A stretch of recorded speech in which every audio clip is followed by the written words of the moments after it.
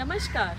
आप सभी को विश्व पर्यावरण दिवस वर्ल्ड एनवायरनमेंट डे की हार्दिक शुभकामनाएँ और बधाई। जैसा कि हम कई वर्षों से देख रहे हैं कि दिल्ली एनसीआर और देश के सभी राज्यों में global warming climate change pollution smog इत्यादि के विशाल संकट हम सभी के सामने उबर के आ रहे हैं।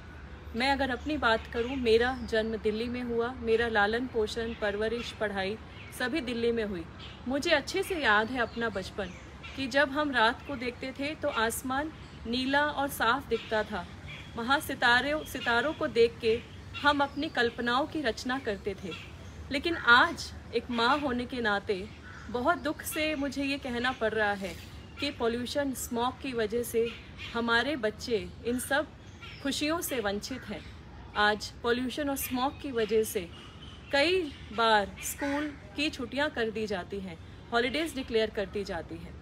तो क्या हमारी नैतिक जिम्मेवारी नहीं है कि हम पर्यावरण संरक्षण में एनवायरनमेंट कॉन्जर्वेशन में अपना योगदान दें?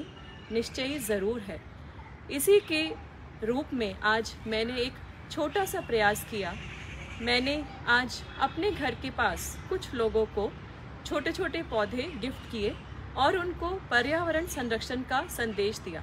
साथ ही उनसे ही अपील करी कि वो अपने घर या आसपास की जो जगह है, वहाँ पे इन सैपलिंग्स को प्लांट करें और अपने पास में लोगों को जागरूक करें और इसके साथ साथ वो भी प्रोत्साहित करें बाकी लोगों को कि हम भी एक एक पौधा निश्चय ही आज लगाएँ। तो यही मेरी आपसे अपील है कि ऐसे छोटे छोटे प्रयास हम अपने जीवन में लाएँ।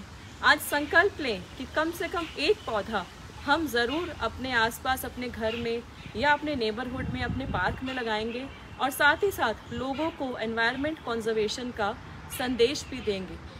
सबको विश्व पर्यावरण दिवस की हार्दिक शुभकामनाएँ और एक संकल्प हम ज़रूर लें कि sustainable future sustainable earth is our responsibility let us all contribute towards making this planet more greener and let us all give a healthier environment to our future generations.